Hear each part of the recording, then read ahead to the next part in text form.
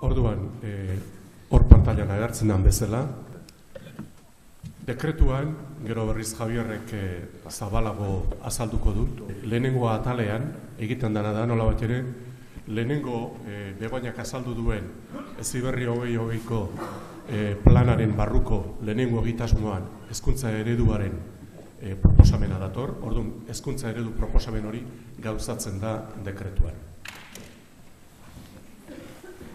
Aurkezpen honetan, garbi daukat hezkuntza ereduaren inguruko gaia ezin dela inolaz ere e, agortu.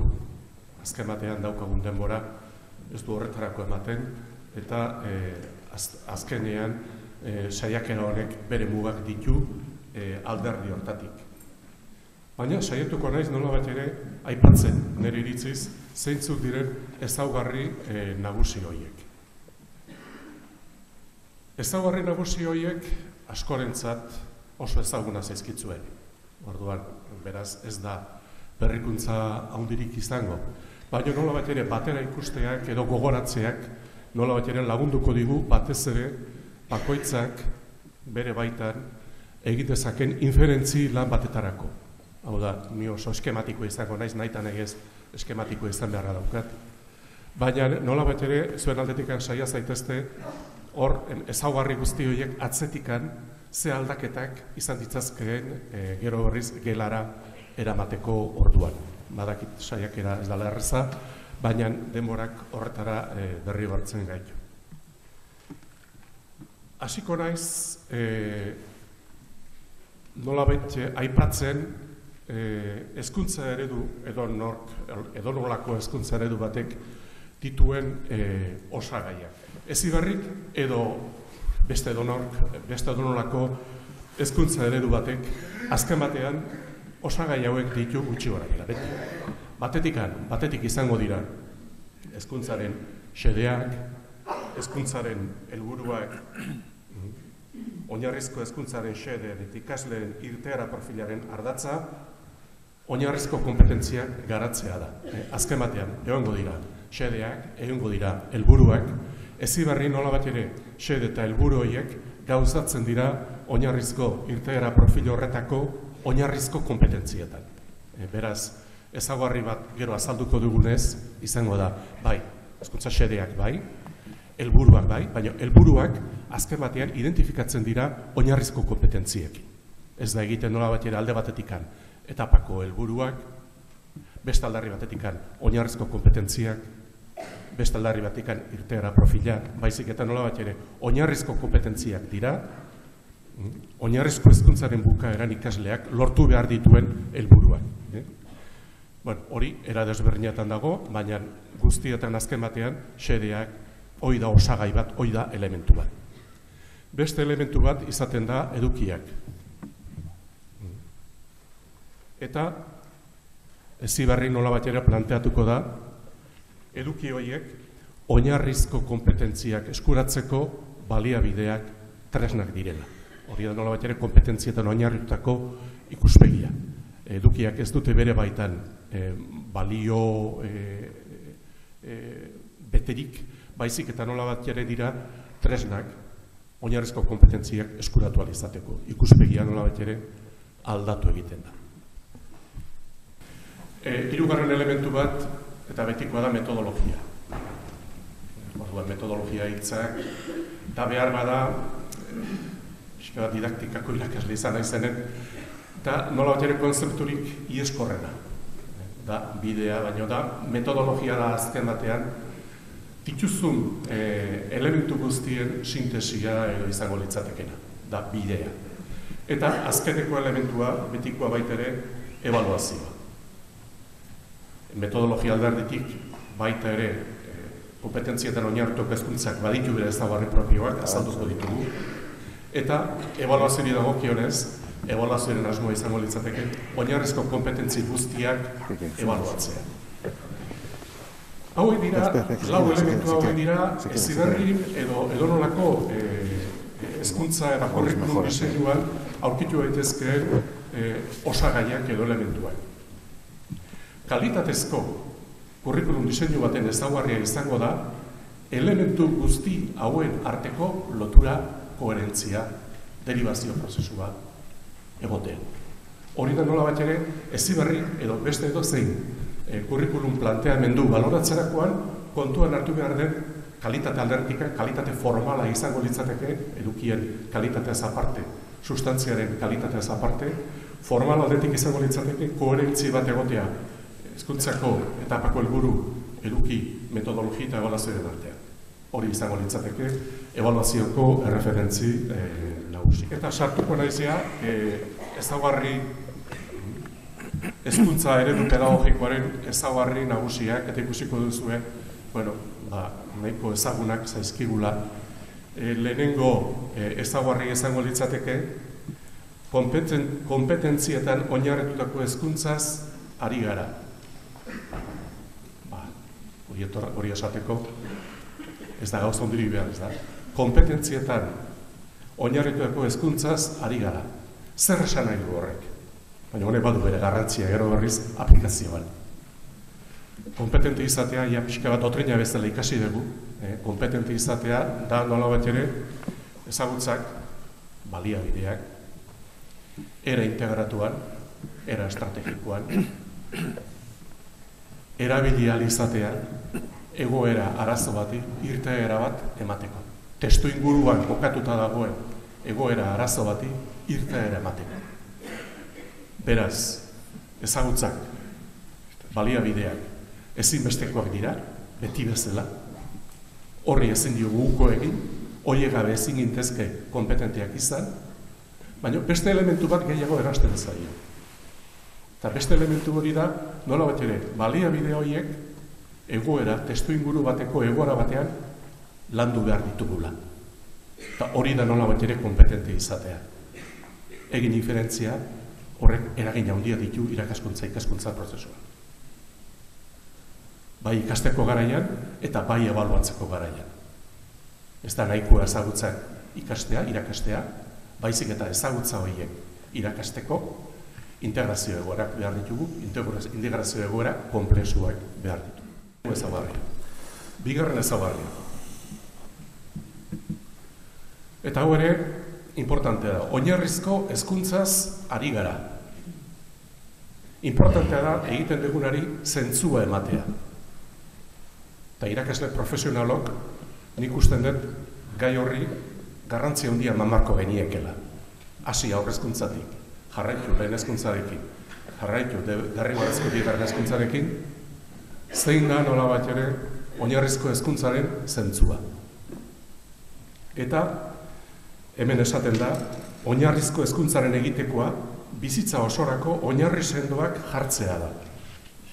Bizitza osoan egin beharreko ibilbide luze horretarako ikasleak ondo prestatu behar du, ibilbide hori ahalik eta baldintza horinetan egin dezak jarraitzen du horretarako oinarrizko kompetentziak garatu behar dira, hau da, bizitzarako ezinbestekoak diren kompetentziak, bizitza pertsonalerako, sozialerako, akademikorako eta laboralerako. Oinarrizko kompetentziak sendo finkatzea da oinarrizko ezkuntza den helburua. Bueno, hori da nola bat ere, ez ziberriko ezkuntza eredu planteamenduan egiten den proposamena. Beraz, oinarrizko hezkuntzaren funtzio da bizitzarako prestatzea, bizitza luzerako prestatzea, maratoi luze hortarako motxila eta prestakuntza sendoa izatea, ahalik eta baldintza honenetan bizitza osoan zehar ibilbide hori ahalik eta hobein egin dezagun. Eta horretarako, eh, bizitza esaten dugunean, bizitzarako prestatzea esaten dugunean, esaten dugu bizitza personalerako, bizitza sozialerako, bizitza akademikorako eta bizitza profesionalerako. Orduan, bizitzaren alderdi guzti horietan e, nola bat ere prestatzea, ez bakarrik akademikorako edo laboralerako, baizik bizitza personalerako eta sozialerako prestatzea da nola bat ere oinarrizko ezkuntzaren funtzioa. Horrek ematen dio nola bat ere zentzua, eh, oinarrizko ezkuntza e, nola bat ere osoari. Hori da nola bat ere, e, bigarren ezagarria, eta honek ere jakina, inferentzia ginez gero, bere ondorioak bat ditu eguneroko e, lanean. Beste ezaugarri bat, lehen esan dugu oinarrezko kompetentziak. Oinarrezko kompetentziak, bere historia ezagutzen dezute, 2006 Europako Parlamentuak eta Komisioak egindako proposamena, loen azkeneko orduan sartu zana, aurrera, aurrera pauso bat izan zen, eta geroztik pixka bat gai honen inguruan, ba, leku batean da bestean, ba, e, lanean, bai, e, zenbait aldetan, eta hemen Euskal Herrian bertan, eta Euskal Autonomia Erkiduan bertan, gai honetan lanean aritu gara. Ez berriko e, planteamenduan diapositiba honek e, garrantzi e, handia dauka. E, batetik agertzen dira e, goi iturburuan ezkuntzaren xedeak, eta ezkuntzaren xede horiek e, lortzeko bidea da nola bat ere oinarrizko kompetentziak e, garatzea. Eta oinarrizko kompetentzien e, barruan bere dira, oinarrizko zehar kompetentziak eta oinarriz eta disiplina e, baitako e, kompetentziak. Gero aipatuko dugu, ez dugu nola bat ere originalidade ikeragarrik egiten, hori Europako herrialde e, gehienetan, dese kontu, nin eta barretan egiten den planteamendua da, nola bat ere bere iztea, zehar kompetentziak eta disiplina baitako kompetentziak. Ez dira e, bost gehi, zazpi kompetentzi, Baizik eta nola bat ere adirazi nahi da irudi bidez, ustarketa bat dagoela. Oinarrizko zehar kompetentzi eta disiplina baitako kompetentzien artean. Hau da, disiplina baitako kompetentzi horiek lantzeko, eh, matematikako kompetentzia, kompetentzi zientifikoa, kompetentzi sozial eta zibikoa, artistikoa, eh, motriza eta barra lantzeko, ezinbesteko eh, bidea da uztartzea oinarrizko zehar kompetentziak disiplina baitako ikastarlo bakoitzean. Eta era berean, rekursibitate e, eraginaren bidez, oinarrizko zehar kompetentzioiek landu daitezke soilik baldin eta uztartzen balima dira oinarrizko disiplina baitako kompetentzioien barruan. Ikasten eta pentsatzen ikastea, adibidez, ez du eduki propiorik ezin da bere baitan ebaluatu, baldin eta testu inguru eta eduki jakin bat ez balin badauka bere atzean eta bere ondoan. Ikasten eta pentsatzen ikasi, informazioa jasotzea, ulermenean oinarretutako pentsamendua, pentsamendu kritikoa, pentsamendu sortzailea, ezin dira bere baitan landu, baldin eta ez da dituzu uztartzen, zeharko, e, e, disiplina baitako, hau da, hizkuntzaren bidez, matematikaren bidez, horko egoeretan ez da dituzu uztartzen. Elkarrekin bizitzen ikastea. Elkarrekin bizitzen ikasteak ez du eduki propiorik. Empatia lantzea, asertibitatea lantzea, talde lanean era kooperatiboan aritzea, e, gatazka konpontzea, hoiek ez badituzu egoera jakinetan lantzen ez dute eduki propiorik. Beste aldarri batetik, egiten eta iketen egiten ikastea, baita ere gauza bera, ez du eduki propiorik hoiek landu itzazketzu baldin eta ustartzen baldin badituzu ikastorlo hoien barruan. Bestela ezin dezu. Eta, gauza bera, esango eruke, norbera izaten ikasi, autorregulazio prozesuaren bidez, luzitzen ditek gantaz, baina nola bat ere tresna, norbera izaten ikasteko bidea da autorregulazioa. Metakognizioa, regulazioa. Eta hori, nahi eta nahi ez egin beharra daukazu, egoera konkretuetan eta situazio konkretuetan. Bizitzako egoeretan eta eskola baita ere eh, akademikoki ikastarroen bidez. Elementu hau, beraz, honek inferentzi prozesu bat egiten bali baduzue, azken batean esaten ari garena da, irakasle, zure ikastarloa oso importantea da. Zure ikastarloaren bidez, nola bat ere batetik, oinarrizko zehar kompetentziak eskuratu daitezkelako era horrean bakarrik zuri ikastarroaren bidez, matekat, matematikaren bidez, ikasleak ikasi dezake pentsatzen, ikasi dezake komunikatzen, ikasi dezake elkarrekin bizitzen, ikasi dezake ekitzaile izaten, ikasi dezake norbera izaten. Nola bat ere irakaslearen rola, nola bat ere ezitzailearen rolarekin uztartu egiten du. Honek, jakina, eguneroko bizitzen, eragin handia eh, izan dezake. Bueno, da, irudia, e, nola bat adierazteko, oinarrizko zehar kompetentzia hauek izarraren bidez nola bat adierazten ditugu, adierazi nahirik bost oinarrizko zehar kompetentzia hauek, jatorrian ikusten dezute ezaguna ingo zaizue jatorrian, honen inspirazioa zein den. Azken batean da, UNESCOren informea, Jacques Delorsen gidaritzapean egindako UNESCOren informea, non esaten duen, hezkuntzaren lau zutabeak direla, batetik ikasten eta pentsatzen ikastea, elkargin bizitzen ikastea, norbet izaten ikastea, eta ekintzaile izatea. Osatzen dugu beste bosgarna ardatz batekin da komunikazioa. Nola bat izango litzatekena, zehar kompetentzien zehar kompetentzia. Ez nahi luzatuko horretan.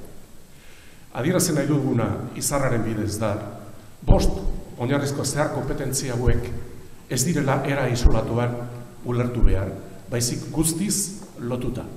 Edo zein ekintzetan, edo zein ekintzetan, bost elementu hauek guztiz lotuta dauzka. Ekintza bat, pentsa ezazue, eh, edo zein ekintza. E, momentu honetan, e, ni egiten ari naizena. E, momentu honetan egiten ari naizena. Batetikan, e, pentsatzen ari naiz, nola bat ere, informazio badaukat, eta informazio hori bideratzen ari naiz, ulermenen oinartuko pentsamendua, eta gauza guztiek erabiltzen ari naiz, era, era berean, e, elkar bizitzen, saiatzen ari naiz, e, zuek barruan zer daukazuten e, pentsatzen, baina era berean nire ideiak azaltzen ari naiz, ekintzailetza agertzen ari naiz, autorregulazio prozesu batean nago, pentsatzen ari naiz nire mezua zuen nola iristen ari den, eta zuek ere nola batera izatea e, nire, nire mezua zuen gana nola iristen ari den baloratzen. Hau da, ekintza batean elementu guzti hauek uztartuta da, ezin dira beraizi. Beste gauza bada gero horriz, irakaskuntza ikaskuntza prozesuan, behar ditugula prozedura eta jarrera bereziak eta ondo landuak hau egingarri izateko. E, hori izango da nola bat ere, e, gero e, jarraian e, beste momentu batean aipatu dugun e, prozeduren artxibategi eta jarreren artxibategi baten e, ideia. Bueno, e, ena ilustatuko gai hontan, baina e, e, zenba dira e, berizketak baldu ekarpenik, oiko alda berizketa hori egitea, bueno, e, bilografia zientifikoan gehi autore gehienetan oso ondo berizten dira, nola bat ere, zehar kompetentziak eta disiplina baitako e, kompetentziak e, desekoren e, planteamendua, hemen aurrean daukat, e, OCDE-en deseko planteamendua baita ere oso garbi berizten dira, e, utilizan instrumentos de forma interaktiba, interactúan en grupos heterogéneos, actúan de forma autónoma. Bueno, era desberdinetan antolatu daitezke zehar kompetentziak. E, e, Unibertsitatean erabiltzen den Turing e, planteamenduan, e, hiru multzotan antolatzen dira kompetenzias instrumentales, kompetenzias interpersonales, kompetenzias sistemikaz. Bueno, nik nola bat eren eraldetikan egina daukat irakurketa bat uztartuz eziberri agertzen den planteamendua bost ardatza horietan eta e, beste alderdi batetikan e, deseko OCDen planteatzen dena eta tunik unibertsitatean, Euskal Herriko unibertsitatean eta anekan erabiltzen den planteamenduan arteko uztarketa eta nola bat ere, ba, bueno, e, lotura e, handia-handiak ikus daitezke. Bestetik, 2000 zazpiko dekretuan, baita ere, bereizketa oso garbia dago, oinarrizko zehar kompetentziak, sei aipatzen zirenan, eh, eta disiplina baitako e, kompetentzien artean. Hau ez da berria guretzat, ez berrik ez dauka 2000 zazpiko dekretuak Euskal Kurrikulunean, Euskal Herrirako Kurrikulunean, ja eskema hori, ardatz hori ja, sartuta zegoen, eta 2000 zazpiko dekretuan, irakurtze bali maitu zute, seigarren artikuluak eta zortzigarren artikuluak, ikusiko duzute hori berizketa hori oso garbi egina dagoela. Europar Komisioko hezkuntzaren eta formakuntzaren markuan erronka bezala jartzen du nola bat ere operatibizatzea oinarrizko zehar kompetentzia. Beraz, e, gaiak e, badu nola bateko berrikuntza. Ez da zerbait e, itxita dagoena eta e, ez e, lanean irekita dagoen e, elementu bada zehar kompetentziak nola uztartu disiplina baitako kompetentzia da. Erronka bada. Eta ez dago proposamen bat, eta proposamen operatibizatu bat, konkretu bat. Eh? Bere bide egin beharko duena. Piskanaka, piskanaka. Baina, konkrezio maila horretan, Europa markatzen duen hildo horretan nola bat ere, lanean gabiltzen. Beste ezaugarri bat, eta honek ere e, inferentzi pixkatik emaduzu badu bere, bere eragina, Hezkuntza ereduan, oinarrizko hezkuntzaren etapa guztiak, aurre hezkuntza, lehen hezkuntza, derrigorrezko bigarren hezkuntza, ikaslearen irtera profilaren lorpenaren, lorpenaren zerbitzuan jartzen dira. Nola bat ere, e, hor agertzen dira bi irudi, e, bata mendi batena, eta nola bat ere, e, e, proposatzen dena irtera profilara hori, azken batean mendi gailo horretara iritsi behar gera, e, hori da nola bat egiten den proposamena, bai ezkuntza ereduan eta bai dekretuetan lehen esan ez dela lehenengo e, hiru kapitulutan, eta hor agertzen da, zer lortzea espero den ikasleak oinarrizko hezkuntza bukatzen duenean. Ze mendi gailurrera e, igo behar duen. Nola bat ere proposatzen da. Baina jakina, mendi gailur horretara iristeko, ba, e, aurrezkuntzatik hasi, azpitik hasi, lehen ezkuntzara, gogora, eta ibilbide, bakoitzak bere ibilbide propio egin behar du. Bere ezaguarri propioekin, baina guztiok nola bat ere gaude, mendi jontior horretara begira, aurrezkuntzatik hasi, lehen ezkuntzakin jarraitu, eta derrigorezko bigarren ezkuntzakin amaitu. Guztio gaude nola bat ere batera, etapa eta e, austura guztien gainetik, nola bat ere guztiok sinergian begiratzen diogu mendi tontorrari. Horrek ez du esan denok ibilbide berdin egin behar dugunik, ibilbide asko egon daitezke tontorrari egizteko. Baina guztio gaude nola bat ere sinergian horri begira. Eta mm, nola bat ere esateko baitere bertsolariaren, e, bertsolariaren eskema. Bertsolariak pentsatzen du azken batean azkeneko bertsoa zin izango den, eta horren arabera eraikitzen du bertsoa. Nola bat ere, ez planteatzen dena, eta ekintza, edo zein ekintzetan egiten dena, bizitzako ekintzetan egiten dena, azken batean, zu pentsatzen duzu, hau lortu nahi dut, eta hori lortzeko ze baliabide jarri bat ditut. Horrek nola bat ere baitu ere, inferentzi bat eginda, horrek eskatzen du nola bat ere, etapak egon daitezke, baina etapak guztien gainetik nola bat ere bideak markatu behar ditugu, horri begira, jontxor horri begira. Beste ezaugarri bat,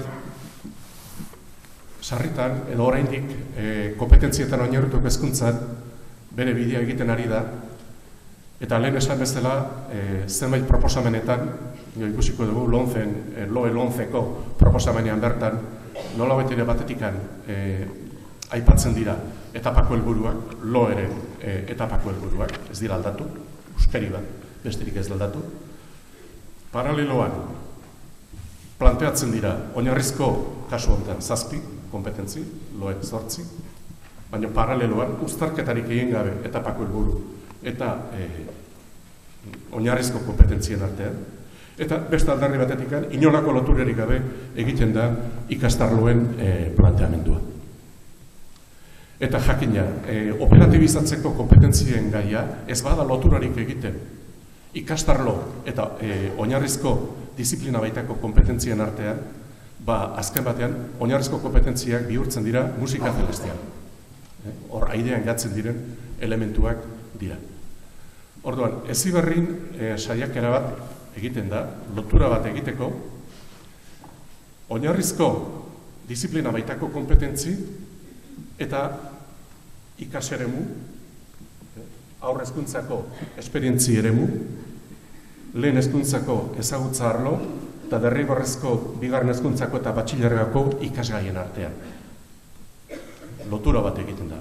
Aurrezkuntzan bi hiru esperientzi eremu egongo dira, baina bi hiru esperientzi hori eremu horien barruan ja aurre ikusten dira zeintzu diren lehen hezkuntzan landuko diren e, e, ezagutza arloak Eta lehen hezkuntzako ezagutza hoien arlo horiek garatzen dira eta zabaltzen dira derrigorrezko bigarren hezkuntzan eta are gehiago zabaltzen dira batxilargoko hezkuntzan. Lotura bat jartzen da e, ikastarlo eta nola bat ere disiplina baitako oinarrizko kompetentzia bakoitzaren barruan. Beraz, lotura horrek laguntzen du era operatiboagoan ikastarloen e, bidez oinarrizko kompetentzi guztia lantzeko oinarrizko disiplina baitako kompetentziak eta oinarrizko disiplina baitako kompetentzioetan integratu zehar kompetentziak oinarrizko kompetentzi guztiak garatzeko bideak bideratzen dira. Edukiei e, dagokionez, lehen esan bezala, edukiak e, baliabideak dira oinarrizko kompetentziak lortzeko. Apaltasunez hitz egin da, nik esango nuke e, oraindik gure kultura pedagogikoan e, urrats batzuk eman beharra dauzkagula pentsamolde hau nola bat ere e, bere tokian e, jartzeko.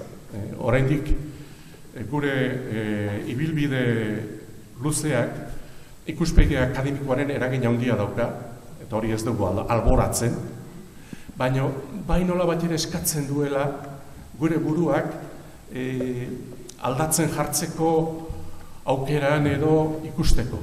E, azken batean, e, kompetentzietan oinartu ezkuntza ezagutzak ezinbestekoak dira, baina behar ditugu oinarrizko kompetentzia horiek lortzeko ezagutzak.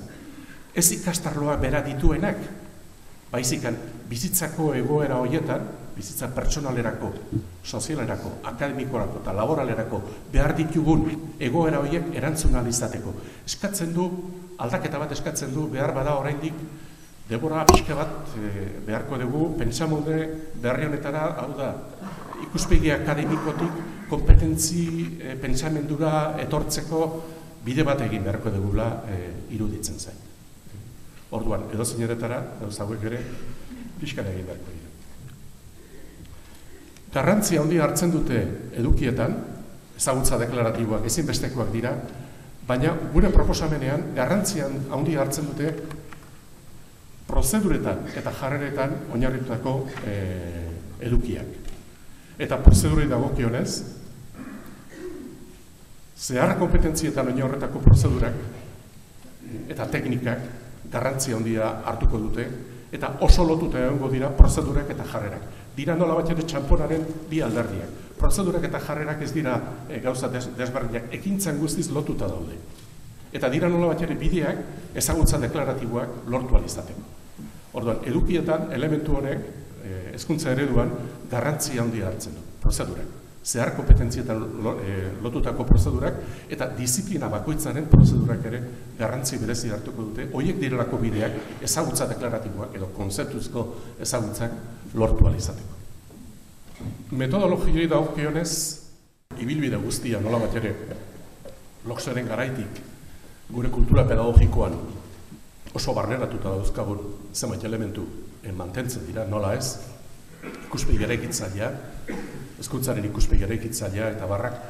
E, kompetentzietan oinartu ezkuntzak ikuspegi sozio eraikitzailea, hau da, nahiko eklektikoa da, esan ez dut, erabili daitezke iturri desberdinak konduktismotik hasi eta zenbait gauza e, buruz ikasteko eta repikatzeko erabili daitezke iturri desberdinak, baina funtsean ikuspegi eraikitzailea e, barneratzen du eta sozio eraikitzailea, hau da batez ere, egoera, egoerak, e, testu inguru batean kokatutako egoerak uztartzen dituen neurrean, ikuspegi sozio eraikitzailea izango litzateke ikuspegi nagusia. Baina teoritatik aparte, e, nik labur bilduz metodologia adagokionez bi elementu nagusi ikusten ditut ekarpen bezala gure e, kulturaren e, osagarri bezala, gure pedagogi kulturaren osagarri bezala. Batetik, izango litzateke, e, prozedura e, metadisciplinarrak edo zehar kompetentzietan e, oinarriutako prozedurak ikastarlo e, eta esperientzia ere guztietan nola bat guztartzea, hau da, pentsatzen eta ikasten ikasteko e, prozedurak eta teknikak, komunikatzen ikasteko prozedurak eta teknikak, elkarrekin bizitzeko prozedurak eta teknikak, ekintzailetzako prozedurak eta teknikak, norbere izateko da autorregulazioaren bidezko prozedurak eta teknikak, hoiek nola bat ere sartzea ikastarlo bakoitzaren barruan. Erronka sendoa eta aldaketa sendoa hori egiteko balimagara, gali balimagara. Eta e, bigarren aldaketa nagusia nire ikuspegitik da egoerak. Lengo e, kultura pedagogikotik orain, nola bat ere, e, bueno, ez da ere barria, esan ez dut, proiektuetan zabiltzanean edo erabiltzen ditugunean e, zenbait elementu nola bat ere egoerak dira.